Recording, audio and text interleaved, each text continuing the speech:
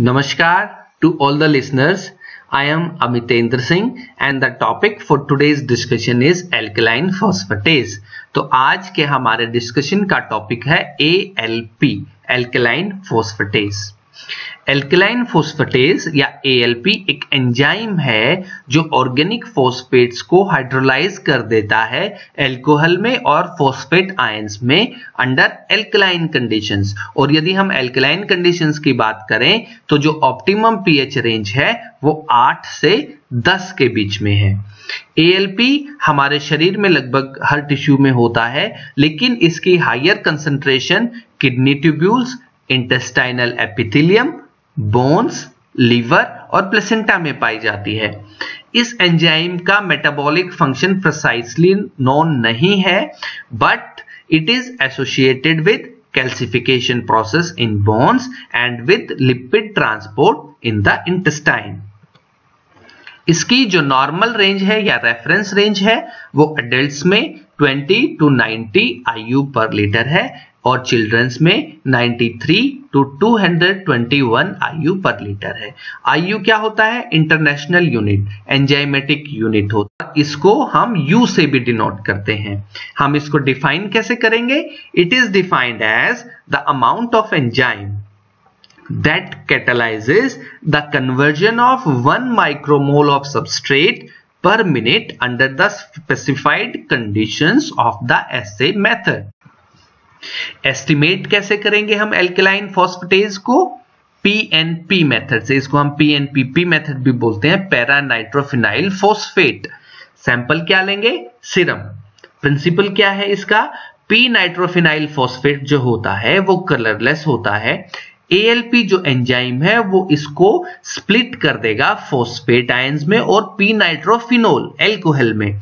और alkaline conditions में P nitrophenol P nitrophenoxide ions में कन्वर्ट हो जाता है।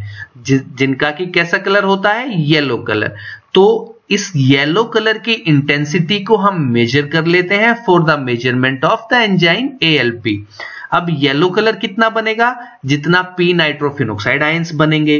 और पी नाइट्रोफिनोक्साइड आयंस कितने बनेंगे? That is directly proportional to the concentration of p nitrophenol और पी नाइट्रोफिनोल की कंसंट्रेशन डायरेक्टली प्रोपोर्शनल होती है द कंसंट्रेशन ऑफ़ एंजाइम्स इसलिए हम कलर की इंटेंसिटी को मेजर करके एंजाइम की कंसंट्रेशन का पता लगाते हैं।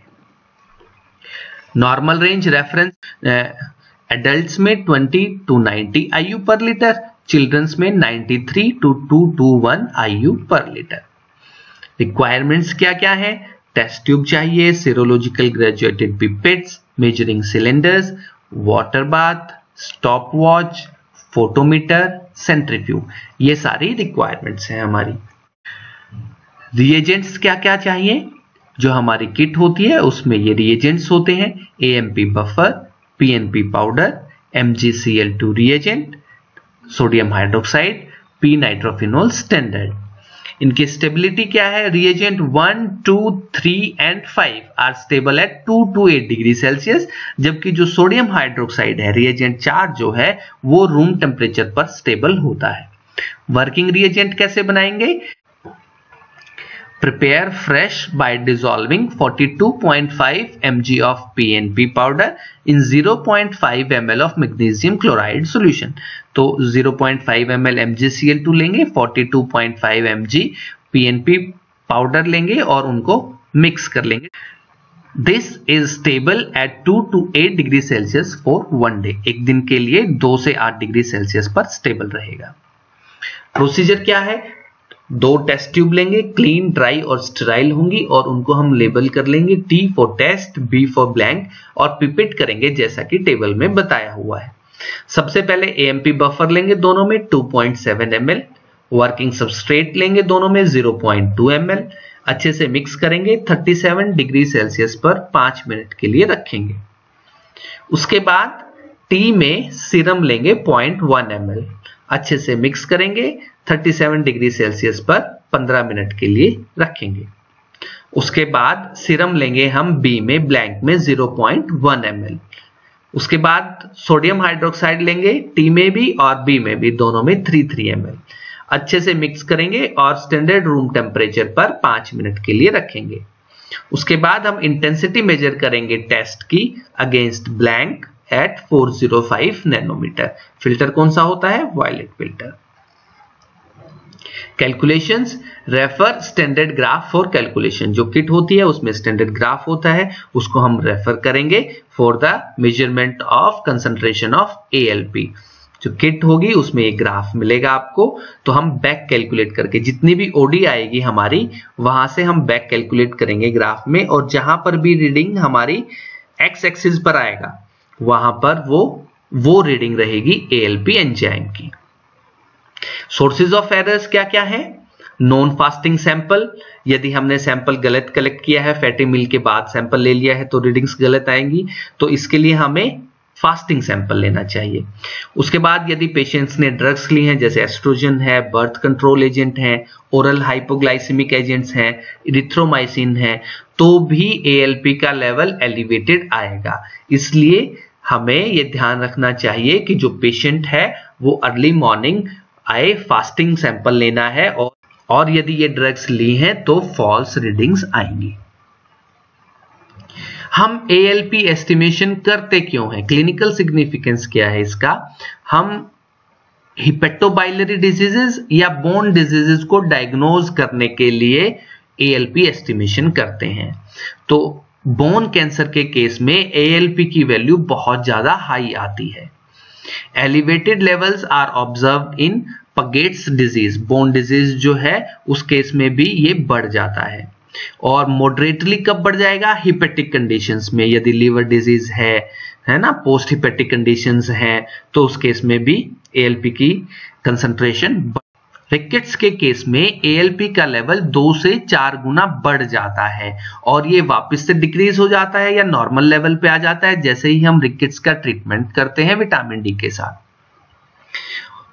The level also tends to increase slightly to moderately in hyperparathyroidism. Hyperparathyroidism के केस में भी ALP का लेवल slightly से moderately increase हो जाता है तो ये सारी conditions हैं जो ALP के लेवल को वेरी करती हैं चेंज करती हैं तो इनके डायग्नोसिस के लिए हमें ALP एस्टिमेशन करना होता है ये डायग्रामेटिक रिप्रेजेंटेशन है जो हमने प्रोसीजर पढ़ा है, उसका स्टेप वाइज रिप्रेजेंटेशन है।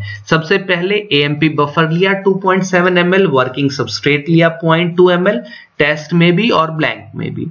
उसके बाद हमने इनक्यूबेट किया 37 डिग्री सेल्सियस पर पाँच मिनट के लिए। पाँच मिनट के बाद टेस्ट में सीरम डाला, कितना? 0.1 ml वापिस से इंक्यूबेट किया 37 डिग्री सेल्सियस पर 15 मिनट के लिए। 15 मिनट के बाद सीरम डाला हमने ब्लैंक में, कितना? 0.1 एम अच्छे से मिक्स किया, फिर दोनों में सोडियम हाइड्रोक्साइड डाला 3 एम टेस्ट में भी और ब्लैंक में भी। अच्छे से मिक्स किया स्टैंडर्ड रूम टेम्परेचर पर पाँच मिनट के लिए रखा और पाँच मिनट के बाद हमने ऑप्टिकल डेंसिटी मेजर की टेस्ट की against blank at 405 nanometre violet filter और फिर कैलकुलेशंस में जो स्टैंडर्ड ग्राफ है, उसके साथ कंपेयर करके बैक कैलकुलेशंस से कंसंट्रेशन फाइंड आउट कर ली एंजाइम की एएलपी की। वाई एक्सिस पे ऑप्टिकल डेंसिटी है एक्स एक्सिस पर एंजाइम कंसंट्रेशन है। तो जो ऑप्टिकल डेंसिटी आई है, उसको हमने बैक कैलकुलेट करके इसको रिप्लॉट किया और जब बैक प्लॉट किया हमने एक्स एक्सिस पर जहाँ भी ये कट करेगा, वो एंजाइम की कंसंट्रेशन होगी। तो हमने एंजाइम की कंसंट्रेशन फाइंड आउट कर ली। तो ये आपका प्रोसीजर है एएलपी एस्टिमेशन का। Thank you